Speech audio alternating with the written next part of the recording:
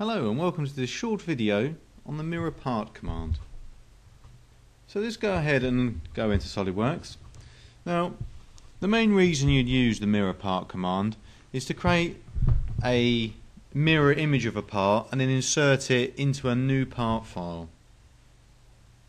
So to do that, first thing you need to do is to select a face or a plane to mirror from. So let's say this face here and then I'm going to go to the insert menu and then go mirror part. Now you have to make sure you select a face first. If you don't have anything selected it's greyed out.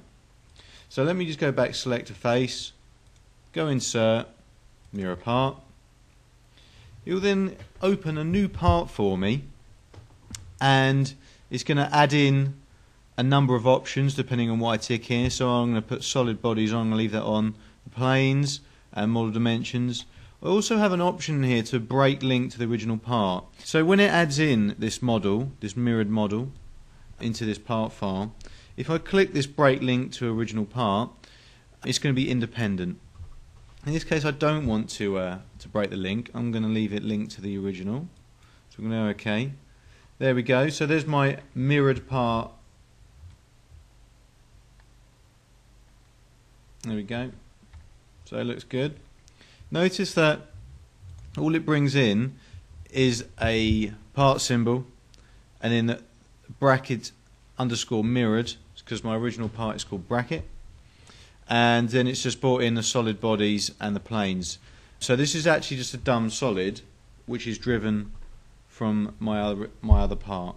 So if I come back into this, into this part, and let's say this change of dimension, say 150 there, Let's just rebuild it. There we go. And I go back into my my mirrored part.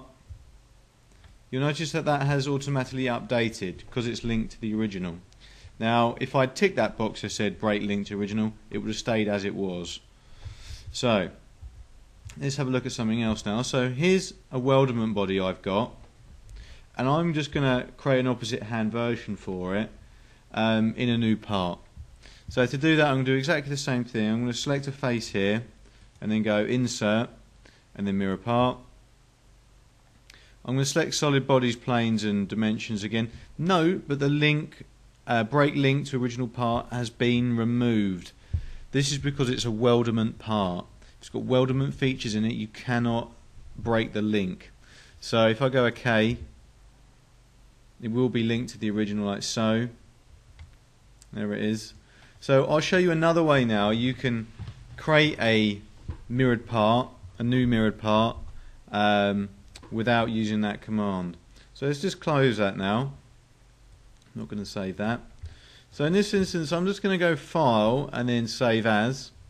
And then I'm going to save this as, say, Weldment Mirror. And I'm going to save it as a copy.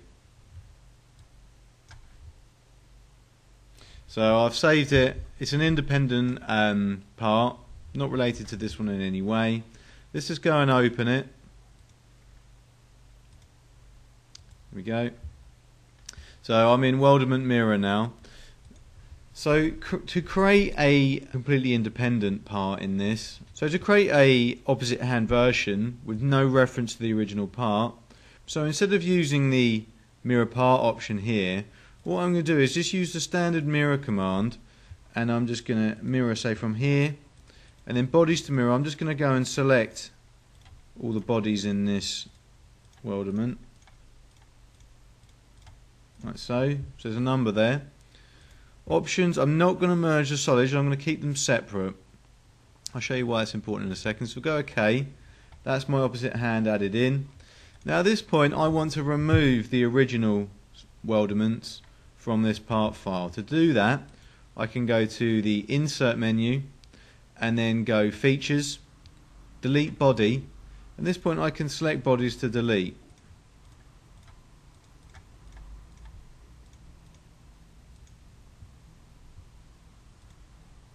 There we go, that's all the bodies I want to, delete selected. Go OK, and now they've been removed. Now, They've been per permanently removed at this stage in the tree.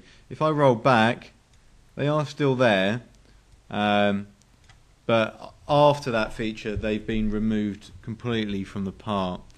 This this is important, especially if you're trying to weigh the um, rather than hiding it. If you do mass properties once you've hidden it, it will still add in those bodies. Also, the cut list, um, if you hide it, will be twice as have twice as much in it because they're still there.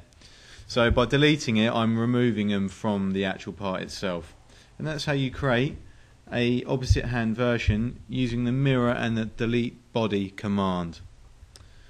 Okay. Thanks for watching.